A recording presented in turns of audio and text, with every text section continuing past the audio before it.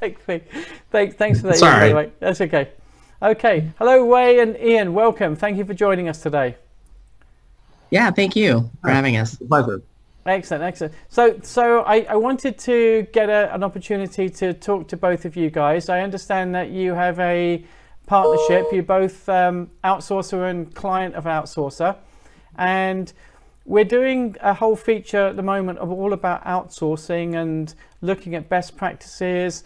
And what's really nice about you guys is that because you work together, we would love to get some questions to you on how you work together and what makes a relationship work really well. So if you don't mind, Ian, can I ask a few questions of you first, please? Yeah, sure, absolutely. Okay. So, so how long have you both worked together, the two companies? Boy, we've worked together for, gosh, I'm going to say about almost four years now. Um, um, yeah, I, I, discovered World Connection when I was uh, a speaker for an ICMI conference, and, and, we were in the market for a new partner. Um, we, we, actually at Quicken call our we, we don't reference um, our outsourcers as outsourcers. We we call them partners at Quicken, and so uh, we we uh, discovered, like I mentioned, we discovered World Connection at, at a conference, and and from there we we started doing a pilot. Excellent. So, so how did you go about finding the organisation in the first place? How did you do? Did you meet them face to face at this event, or did you, you know, were you um, introduced because you said to somebody, "I'm looking at for a new outsourcing partner," or did you do some online research? I'm just trying to get a bit of background. Uh, yeah, uh, honestly, I you know I spoke to my boss and. Um, he said, look, when you're at this conference, walk around the vendor area and see who you, you find anybody, you know, who, who may be interesting. When I came across a World Connection table, I they were truly a startup back then. Okay. Um, and uh, and you know, I think for for me and for the Quicken organization, we were looking for a partner who was hungry for our business and um, really had a customer-centric mindset. Okay. So th- those were some of the criteria that you you set out in terms of your evaluation for your, your next partner. That that was yeah, that was the foundational criteria. Absolutely. And do you recall at that time as well, Ian, approximately how many other organisations you were talking to as potential partners? Yeah, you know, it was more informal, to, to be honest, Raj. Uh, I would say I probably talked to, at that time, maybe 15 other organizations. Okay. Um, whether formally or informally. Excellent. Well, you, uh, well, you, you guys did well. Obviously, you, you know, four years on, that's a good, healthy relationship going for you guys. Um, so, just in terms of what what you guys currently do together in in uh, what what do what do World Connection offer you in terms of a service these days? Is it call handling? Do they handle chat, email? What sort of things do they do for you? Yeah, they, they do um, mostly phone calls and chat. They do um, some back office work for us, um, and and uh, but they also help us really analyze also our, our customer pain points and, and they work directly with our uh, business development team, our, our product development team, mm-hmm. and our product managers to help make the products better for Quicken. So we don't just solely use the, the agents with World Connection as just call handling. Um, they truly are a part of making our product better.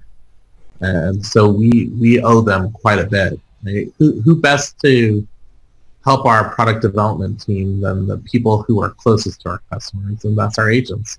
Absolutely. That, that's actually a really interesting point that you make because in so many cases where you've got outsourcers and, and clients, clients don't fully utilize the, the intelligence they're getting from the, the call handlers. Uh, and so it's you know it's all credit to you guys that you feed that through to your product development team as well. So that's that's really nice to hear. Um, going on to just in broad terms, how, how do you measure or how do you know that uh, Hui and her team are delivering a really good service to you guys? Yeah, it, quite simply, their KPIs, their key performance indicators for Quicken, mm-hmm. is really customer focused around customer centric metrics. So we measure our performance and, and World Connections performance through TNPS, through direct customer surveys that they get, and and, um, and uh, that's really the the major criteria that we use on determining their success. Okay, a, a lot of organizations when they outsource, um, they put in place lots of other metrics as well, like you know the the the average duration of a call and you know completion mm-hmm. rates or, or things like that. Um, so how how do you guys balance in ge- in general terms? How do you balance the the customer's satisfaction versus the overall cost of using an outsourced provider and make sure that you know you're you're getting a good overall value from that yeah i, I think you know from when we take a look at our data our, our data uh, tells us quite a bit right and and we have to be true to our customers for quicken number one first and foremost uh, average handle time doesn't mean anything if you're not helping the customers when they call in mm-hmm. versus um, so we don't manage by average handle time, though we do take a look at, you know, are our agents being efficient? And if we notice that average handle time is going up, there's a reason for that. Either there's a change in call mix and, the agents need some level of uptraining, um, which we'll, we'll provide to them, or there's something else, maybe a new tool was introduced or uh, something else that makes you those numbers to be a little higher. That where we as leadership team take ownership of AHT, we don't push that on to the agent.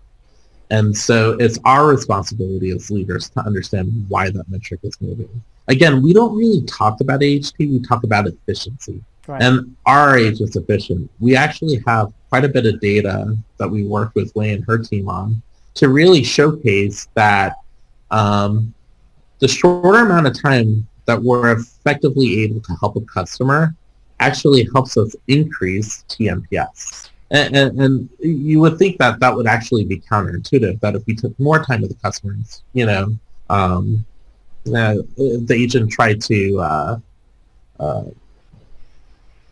razzle dazzle the customer with their knowledge and and uh, offer other things for Quicken that that may help push the NPS higher. It just doesn't. Customers want to get on with the agent, have their situation resolved, and then move on, and and know that we're here for them um, without a long wait time in the future whenever they need us. Interesting. That's that, that's really good. Good to hear that. And how often do you personally, or how, how often do you and your team get involved in, you know, sitting down with agents or getting feedback with them? What what's the sort of strategy there for the, the, the way that you engage with the uh, with World Connection and, and, their team? Yeah. Uh, so daily, number one, I meet with Hui's team, Hui and her team daily. We have daily huddles. We, we listen to calls daily, but every quarter um, myself and, and my vice president, my boss, we, we go out to um, Guatemala and, and Boise and, and, sit with agents um, and, and, listen to the calls that they take, do focus groups. But aside from that, at Quicken, it's also very important for us to not just you know sit with agents and, and have them do as we say. Mm-hmm. When I get to the site, I actually take calls with the agents so they can see that one, I know the product and I I'm willing to speak to a customer regardless of my title, mm-hmm. and, and, and, two, I understand the pain that they're facing when they talk to customers. At, at Quicken, everybody takes contacts from our CEO down. Uh, and that's just something we do. And at World Connection, it, it's something they do as well. Mm, that's, really good. Just, just um, for everyone's benefit who might be watching this, Quicken, I, I have an impression of you know the products and services that you guys do, but just for everyone's benefit, would you just quickly give us a you know top level what is Quicken all about as a brand or product? Yeah, absolutely. Thank you. So Quicken's been around for 30 years, over 30 years. We, we used to be a part of Intuit. Actually, Quicken was a product that founded Intuit, which is the makers of TurboTax and QuickBooks. Um, about four years ago, four and a half years ago, we, we broke away from Intuit, and, and we're now Quicken Incorporated. We make personal finance software. So software where customers can um, manage their bank accounts, investment accounts. We have Quicken Home and Business. Um, we've also introduced this year a new product called Simplifi, um, uh, which, which, is entirely web-based and, and, is focused for, for a younger demographic who's starting out and, and managing their finances better. And, and, that's where you know World Connection helps us um, with the customer support, not only for Quicken, our Quicken product line, but also our simplified product line, which they helped us launch. Excellent. Thank, thank you for that. Um, Hui, just, just uh, th thank you for answering some questions. I, I, I want to ask um, Hui a couple of questions.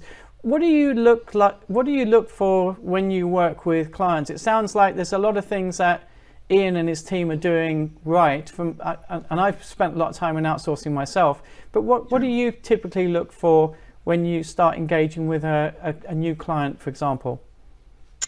Yeah, I mean, it, it, it isn't necessarily, you know, every business that we're going after that we want. So we want to do our due diligence to make sure that there's kind of a good fit, both um, culturally and professionally on both sides. And so as, as we look at clients, we're looking at folks that, you know, one, uh, are really looking for kind of that, that two-way relationship and partnership. So it's not just a, you know, we're going to hire you to answer calls and stick to KPIs because we're, we're more than that. And so we definitely want to show our value.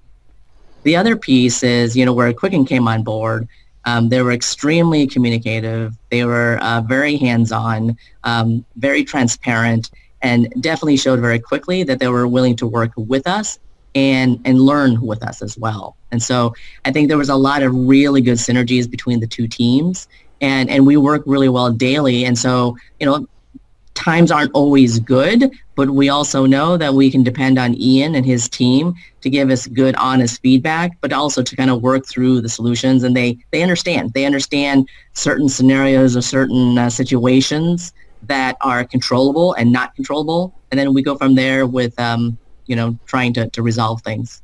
Excellent. So do, do you feel your team who are on this account, they actually feel they're working for Quicken or for World Connection? Oh, they definitely feel they work for Quicken. Okay. So I, I, think, you know, Quicken does a really good job in terms of branding. We have a lot of branding on site. And, you know, Ian is, is incredibly generous when it comes to, you know, whether he's on site and talking and working with them and having lunch with them or, or sending them tchotchkes and stuff. So they definitely have a, a strong affinity towards the Quicken brand. They're very proud of working for Quicken. And, and, and they want to continue to not only make World Connection better, but really make um, both organizations successful. Absolutely. Now, I, I, know from my experience, I spent six years in the outsourcing industry. That's where I learned to, a lot about the industry and working with clients and campaigns and strategies. Mm-hmm. Um, you know, it, it, Ian is a, I would say, one of the rarer clients out there. You know, who's got a vested interest in making sure this is a win-win partnership for everybody. I, I and I'm sure you have as well, Hui, worked with some clients who are always trying to pin you down on cost, on you know meeting certain service deliveries uh, standards, mm. performance. Um, what would you what would your message be to to to organisations out there who who are really looking for a true partnership, who maybe they've chopped and changed over the years to different outsourcers. They're looking for a true partnership. Where what, what else can they do to, to make sure that they find the right partner and then build on that relationship to make sure it's a really strong one like the one you have today? Ian, you want to start? Yeah, sure. Uh, look, I, for, for, for us, it's easy. You know, as we mentioned, it's about a cultural fit. Right. And as our culture evolves here at Quicken, um, the World Connection culture also evolves. I, I think, you know, it, it is all about being involved and rolling up your sleeves. Mm-hmm. Having an outsourced partner doesn't make your job easier. It just makes your job different. You still, as a client, have to be involved in your business. You have to know who's managing your account with the partner and make sure that there's this um, level of transparency as Hui mentioned, that that both leadership teams have. Because for for me as a client, I can't help World Connection, help our customers if I don't know exactly what's going on. And so I, I would say, you know, from a client perspective and, and to all the other clients that are listening, your vendor managers have to roll up their sleeves. They have to get involved and, and they should know the business inside and out, just like the outsource partner. Mm-hmm. Excellent. Yeah, and I would say from you know definitely from from the outsourcing piece of it. Um, I mean, there's a lot of lessons that we kind of learn along the way, and it is one you, you have to be able to kind of put egos aside because we all have our certain kind of core competencies, and we've been in this industry for so many years, and we know a lot about our own business. But you also have to be open-minded to saying, yeah, I may be you know an expert at our Quicken brand, but there's so many things on both sides that we may not know because you know markets are changing consumer taste and um, requirements are changing all the time. And so together i think what what made this a really good partnership is the fact that we are both you know we both collaborate and learn together. Mm-hmm. and and we use a lot of time together to really kind of brainstorm on things and help both organizations continue to evolve and mature. You know um, ian I, I think you were with several outsourcing partners before right yeah, quite a few. Yep. Okay. And so because we were young, because we were hungry, we had obviously a lot of vested interest to make sure that we were different from other BPOs. And as we continue our relationship and, and have seen kind of different evolutions or milestones within our, our account, um, you know, Quicken has now entrusted their business to where we're their sole provider and and we don't take that lightly. And so that's just a testament in terms of the the trust um, that Ian has within our team, and it goes to show you know the tremendous collaboration and work, daily work that it takes to make sure that this thing succeeds on both sides. And, and I, I completely agree with Hui. I mean, look, the the whole ego thing, she's absolutely right.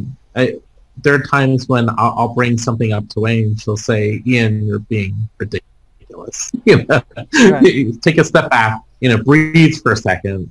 Let, let's figure something out, and then we'll we'll get back to you. Yeah. Um, and, and I, I truly value that. Um, I, I I'm as I evolve in my own career. I, you know, you would think you know the older you get, the wiser you get, and the smarter you get. I, I think I, I, I don't become smarter as I evolve. I become wiser and realize that there are other people who probably have better ideas than I do, and I need to leverage that. And and and Hui helps me, I think, in in my career. She she brings a wealth of knowledge and experience from I think Hui went over 20 plus years of mm-hmm. outsourcing, mm-hmm. right? And and and yeah. so do I.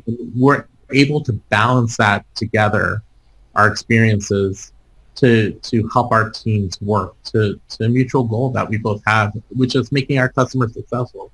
Here at Quicken, we realize, like, look, the the more successful we are with our customers, the more they stick with us, the more we're able to get new users using our products, the more agents we can hire um, to, to help support our products. Hui and her team knows that, knows that and um, and we walked hand in hand, or I should probably say arm in arm. yeah, these days, elbow to elbow. yeah. we're not that close. We're close, but not that. Yeah, yeah, yeah. Interesting. So it, it sounds like you know one of the success factors behind your relationship is that there's very much an open and honest dialogue. Um, you accept criticism, feedback. You know uh, constructive criticism, feedback. Um, you're both in it together to make it work for both of you. It's not, you know, it's, it's definitely a win-win relationship for sure. Yeah, it, that's not to say it's not stressful at times. I mean, even recently we're we're in a very busy time, mm-hmm. but you know, I, I feel confident knowing that Wayne and her team have as much of a vested interest in making Quicken successful as me and my team, and and that is, you know, I, I've I I've had many outsource partners in the past, um, I would say, you know, one of, with World Connection for Quicken, this is one of the biggest um, contracts that Quicken has. Um, and and one of the longest term contracts that Quicken has with World Connection because of the great work that they've done for us. Just on that point as well, if you don't mind me asking, and, and, I, and I, am not after any particular names or anything, because that's not um, not appropriate. But what I'd like to do is just to get from you from you maybe some of the reasons why some of your past relationships with outsourcers hasn't worked as well. Um, mm-hmm. Can you share some, maybe some examples, some insights? And again, no names, please, but just some insights. Uh, yeah, absolutely. Um, first and foremost, executive sponsorship. Um, if if we uh, if I didn't if myself or my organization didn't feel like this executives with the organizations that we were working with in the past didn't have the same vested interest or or care like we have for our business, mm-hmm. it just wasn't going to work. It, with any outsource partner, it starts from the top down, and, and, any organization actually, right? And so if the leaders don't care, it's hard for the for the middle management or the agents to care. Yep. Um, that that's that's number one. Uh, number two, it's just you know I think for for us, it's also about um, Quicken and personal finance here in the U.S. It, it's it can be complex, right? It, mm-hmm. it's not an easy thing to, to learn. I think you know going into the right geographic locations, whether that's in the U.S., near shore, out offshore, it is something you also have to consider. Um, just going off of price, um, you know, it, it's just not a long-term solution. But I think eventually, you know, it, it can have a detriment to customer experience. So you want to pick the right geographic location with the right agents to to support your product uh, and, and, get you know really focus on the metrics that you want.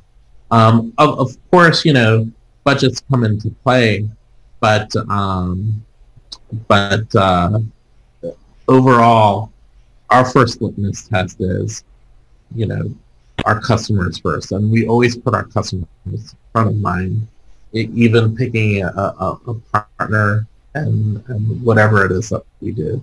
Um, actually, our first value in Quicken is customers first, and so we, as we mentioned, we have a lot of branding in the call center, and in their call center all over the walls is, is the Quicken values, and we love it when our agents refer to themselves as they work for Quicken, yeah. even though we know that they work for World Connection and World Connection manages them. But they're part of our extended family. Excellent. That's really good. And and how are things now that you know we've got this um, work from home model? Is things still working out pretty good? Is that some new challenges, no doubt? Yeah, it, you know, believe it or not, I gotta say, you know, it was a challenging assumption. We we were all put into a place almost overnight on what do we do, hmm. and with World Connections helping guidance, they they quickly determined the plan, have all agents be able to work from home while while maintaining our customers' privacy and security being completely front of mind. Um, we were able to do that with over 300 agents. Um, we even had training classes that that you know were trained from home um, during this period of time. Our, our performance is just as good as when it was at the site. Um, productivity is actually better because the agents don't have an excuse to not be at work on time as much as they did before. Interesting. and, and, and, honestly, we're um, we're we're fascinated with with the results that we're seeing. Excellent, excellent. But I bet I bet you miss actually going and meeting them in person at this moment in time, going to Guatemala or to, to Boise and so yeah, it's, it's like I told Hui, I, I love my family, but you know, so, I'm so used to traveling. A little separation sometimes isn't so bad. I do miss the team. Yeah, out in Guatemala, we're in Guatemala. We're also in Boise, Idaho, and and, and um, and I, I, I, I miss the team. Seeing them on video is not the same as being there. Yeah, yeah, I understand. And and the last question for you um, both is: Where do you potentially see this relationship or partnership evolving over the next few years? And I'm saying few years, okay? Hui. Yeah, sure. Yeah, you know, I, I would say y- you never know. I mean, you know, Quicken's business model, we because we interact with Ian and his team so much, they're very good about sharing um, their outlooks and their plans and their strategies with us. And so depending on kind of directionally where Quicken heads, you know, as they continue to kind of figure that out and diversify and, and expand, you know, we're very much a part of kind of those discussions, those planning. So I think to continue to actively work in collaboration with them and, and to see what other kind of value propositions that we can continue to deliver to Quicken and really kind of continue to kind of push the bar and the envelope on really what kind of the typical outsourcing partner can really do if you have the right client on board and the right mindsets on both sides. And I, I truly believe that we really can can be kind of forward thinking on many fronts and that's what gets me excited about this continued relationship. That's really good. Thank you. Thank you. Anything to add on that, Ian? I, I think Hui Hui So- said it better than Excellent. I, Excellent. I did that. Excellent. I, I, I want to thank you both for your time. Um, really do. Thank you very much for your time and for for investing um, that with us today, and also you know for sharing some of the fantastic things that you guys are doing. It's it's it's really nice to hear stories like this. I used to work with some organisations who were were just like you, Ian, very open, very um, keen on customer service. And then you get the other extreme where they just wanted you to handle a certain number of calls. This is the cost. This is the call duration. Don't go above it, otherwise you'll get beaten up. And and uh, you know, so it's it's sometimes hard being an outsourcer. So I've seen both sides of it, and I'm sure you have as well. Um, but it's you know real credit to what you're doing, and and uh, I- I'm sure Hui and her team are absolutely delighted to work with you for years to come. So thank you both for your time. Really, really good to talk to you both and we'll see you hopefully see you very shortly when we get back traveling You Great. got it. Sounds good. Thank you, Rod. Thank you, thank you take care bye Okay. Bye. Bye bye.